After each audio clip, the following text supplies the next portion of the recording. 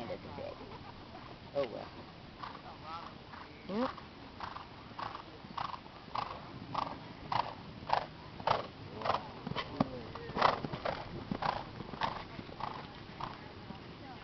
There, there you go.